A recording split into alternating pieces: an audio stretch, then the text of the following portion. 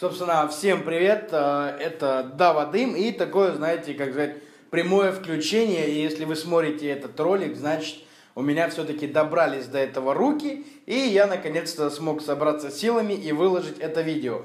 По названию вы уже, наверное, поняли, а, как отличить на данный момент, на, так сказать, на сентябрь месяц, а, отличить поддельный танж от неподдельного танжа, да? Собственно, у меня есть две пачки. И сейчас я вам наглядно по этапно расскажу, как отличить поддельный танж до того, как вы его вскрыли и покурили, и потом поняли, что вы лох, и вам впульнули поддельный танж. А, чему это видео и почему оно для меня так важно? Потому что я, наверное, один из большинства людей, кто постоянно нарывается на поддельный танж, и с этим очень сложно.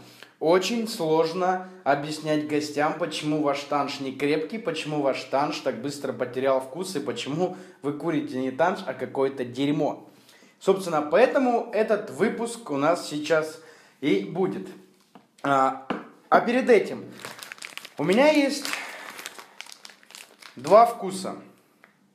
Это Lemon Blossom и Static Starlight. Две, в принципе, на первый взгляд одинаковые пачки. И тут-то вот здесь вот в верхнем левом углу сейчас выйдет маленький опрос, ну либо в комментариях напишите, а, как вы считаете, какой из этих пачек поддельный Танжирс? Так все же, где у нас подделка? Слева или справа? А также вот здесь можете найти опрос и, собственно, ответить. А, только честно, ребят, только честно. Сможете ли вы определить, где подделка, а где оригинал? Думаю, вам достаточно было времени это сделать. А, я потом ознакомлюсь со статистикой и, собственно, посмотрим. А сейчас мы продолжаем а, все-таки разбираться, где же у нас фейк, а где же оригинальный танж. А, с виду вроде бы неприметные две пачки, абсолютно одинаковые внешне, но в них кроется большая часть различий. И сейчас, собственно, я вам покажу. Я уверен, что в ближайшие три месяца никто их не будет переделывать, а чтобы скрыть. А, посмотрев мое видео, как бы, это с одной стороны им и подсказка. Но как минимум первые 2-3 месяца вы сможете полноценно различать, где подделка, а где оригинал. И Ставьте лайки, погнали. А, у нас есть два вкуса, а, Лимон Блассом и Static Starlight. Соответственно, если вы сказали, что подделка это Лимон Блассом, то вы ошиблись. Подделка это Static Starlight, а Лимон Блассом, соответственно, оригинал. Так вот, начинаем различие. Вся суть показать вам различие до того, как вы открыли пачку. И сейчас, собственно, думаю, достаточно будет света, чтобы все это показать.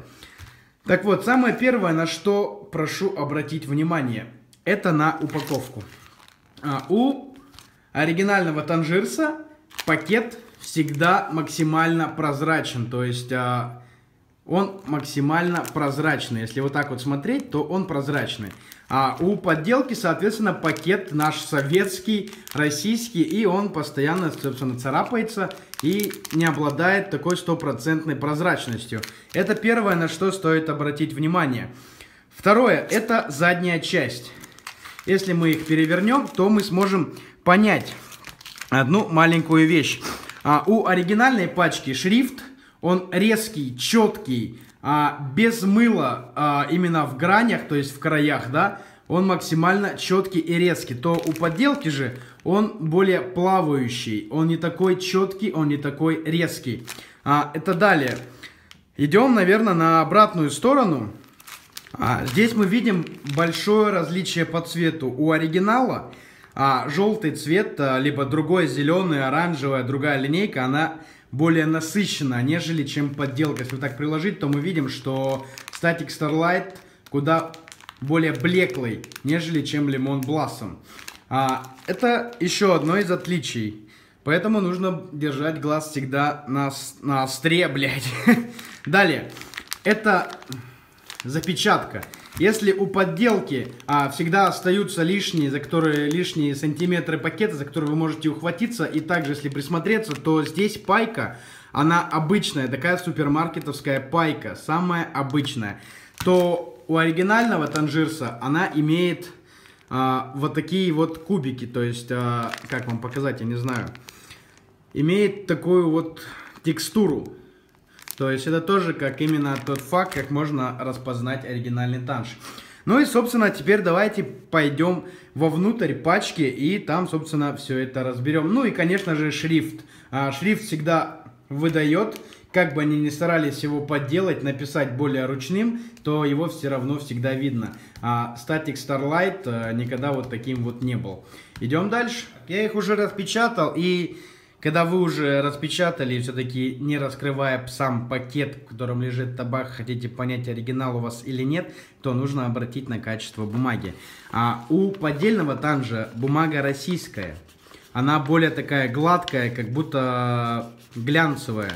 У настоящего оригинального танжа бумага, соответственно, американская, и она более шероховистая и куда приятнее на ощупь, нежели чем а, у подделки. Идем уже смотреть на саму пачку танжа, в которой лежит табак. Здесь очень много меток, которые нужно обращать внимание.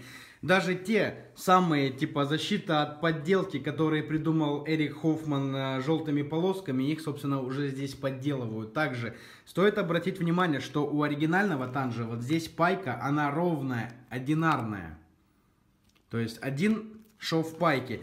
То у подделки Соответственно, тоже тот же самый супермаркетовский шов, а, двойной, тройной, пятерной может быть, в зависимости, какая у них а, запечатывающая машинка.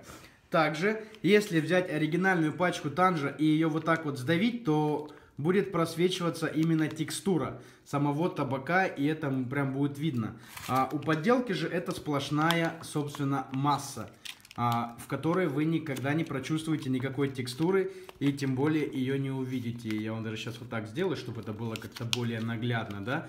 Вот подделка, вот, собственно, настоящий оригинальный танж. А, что касается голограммы, а, ее, в принципе, подделали хорошо, но не от моего чуткого глаза. Я вам сейчас, собственно, это покажу. А, запоминайте.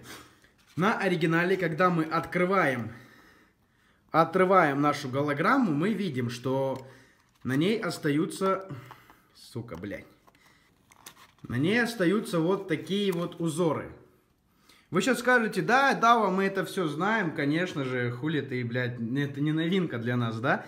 Но на этом, на этой голограмме, в принципе, то же самое, да, она отрывается не совсем идеально, и оставляет тоже голограмму. Но если присмотреться, то вы увидите, что на оригинале куда больше этих самых, а, как сказать, а, ромбиков, нежели чем на подделке. То есть, я думаю, это видно ненаглядно. То есть, здесь контур более тонкий, здесь же именно такой залитый. Это, собственно, вот так вот различать подделку. Думаю, я все подробненько рассказал понятно, доступно, объективно, в самых маленьких мелочах, как определить подделку сентябрь 2017 на табак под названием Танжирс.